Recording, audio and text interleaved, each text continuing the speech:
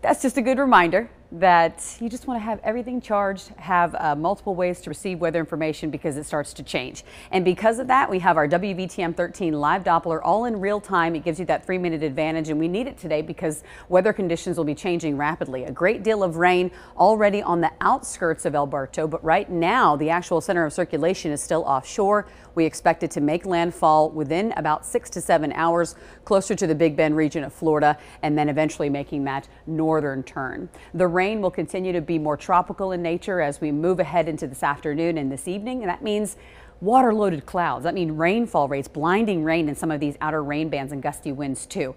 Any kind of travel today for Memorial Day, no matter whether you're traveling south or towards areas of Mississippi, the more you wait, the more time you're going to be in some tropical rains, especially along I-65. We're tracking the tropics now in the latest from the National Hurricane Center, and they're making several passes this morning again, by the way, just to see what the intensity will be before it hits landfall. 65 mile per hour winds right now on the outskirts of Alberto. We expect it to make landfall close to about 1 o'clock in the afternoon with 65 mile per hour winds as of right now. By 1 o'clock in the morning on Tuesday morning, so most folks talking about Monday night, early Tuesday morning. We expect the center of circulation to be closer to Selma and Montgomery. Through Birmingham, if it's moving 40 miles per hour at that juncture around Selma and Montgomery, it will probably slow down, but I think mid-morning is when it, our center of circulation passes through and it will start to downgrade as well.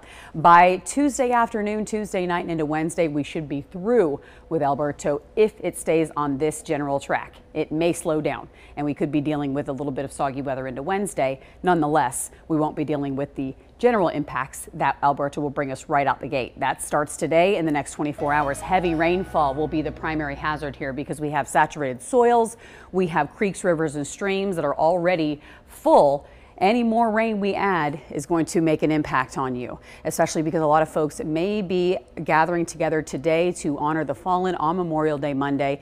You do want to be cautious because water is an excellent conductor of electricity. So when you hear rumbles of thunder, you don't want to be on water. Tuesday, it'll make a huge impact because we will be tracking the actual center, so there could be some gusty winds as Alberto makes it through the state. Wednesday, some lingering showers too, but then we go back to that summertime pattern as we head towards the end of the week and into the weekend.